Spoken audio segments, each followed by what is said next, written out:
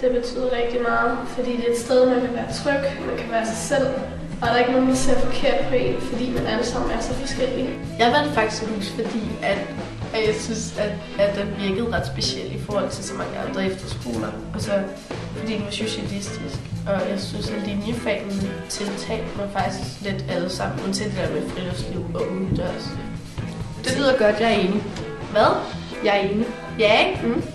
Altså, men jeg, jeg, jeg synes bare, den virkede så hyggelig og bare lige sådan noget for mig. Det var sådan lidt kærlighed det første blik, tror jeg. Åh, oh, det er faktisk ret sagt. Mm.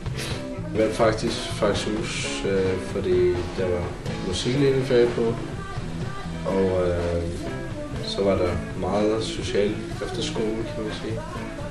Øh, af den grund har jeg valgt Faxhus efterskole, fordi jeg synes, at jeg er meget social, kan man sige.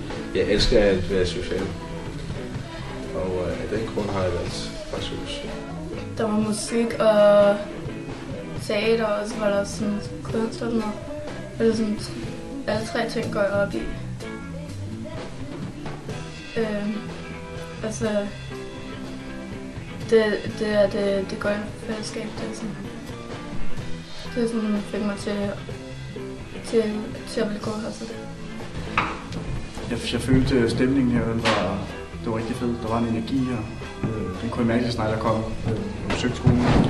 Så faktisk var det sådan, at jeg, ikke, jeg gad ikke besøge andre efterskoler. Jeg tog bare ind, og så, så tænkte jeg, det her, jeg skal gå.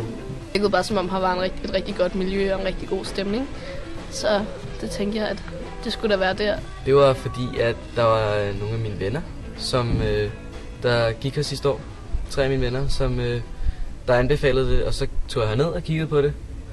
Og så så det rigtig hyggeligt ud. Jeg elsker fredag, fordi det var sådan helt dag kunst. Jeg ved det, jeg kan rigtig godt lide at have kunst. Ja.